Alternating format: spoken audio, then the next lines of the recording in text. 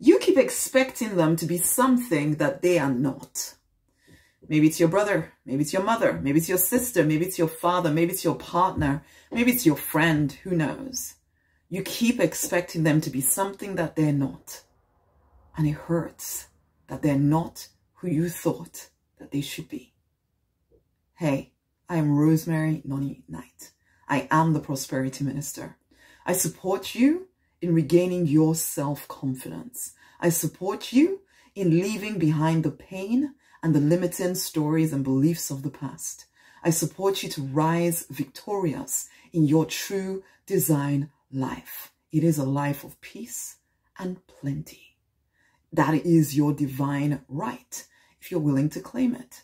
And this whole expecting someone else to do the work for you. I know that's not what you're thinking. I know, I know, I know.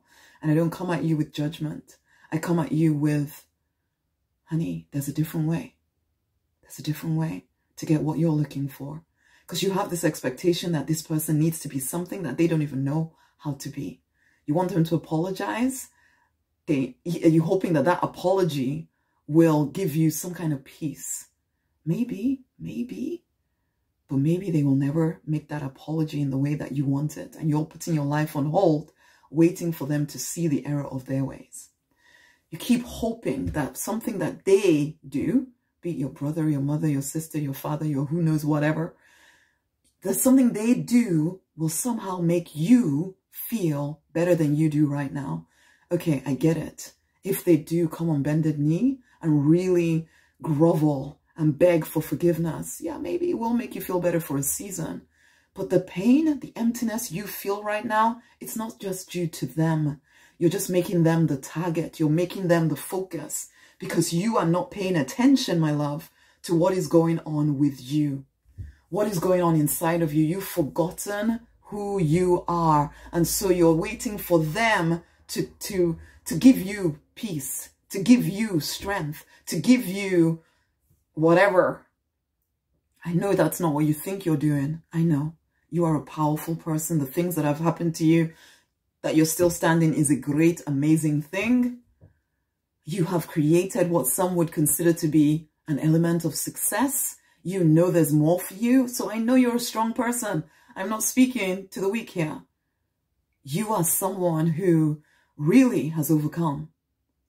And you're standing strong. I get it. And yet, you're putting parts of your life on hold, waiting for this person, whoever this is, to repair what they cannot repair, what they're not even capable of fully knowing how to handle. It's time for you to take back dominion over your own life and your own affairs, all of it, all of it. You are born and meant for a heck of a lot more than this the, the thing you're looking for can only be found in your deep connection with the divine. You give lip service to this, but you don't really know how to do that. Because all you've been taught, all you've been shown is how to try to get other people to do what you want them to do. It doesn't mostly work. It's usually quite frustrating, but you just keep doing it because you don't know any other way. But there is another way.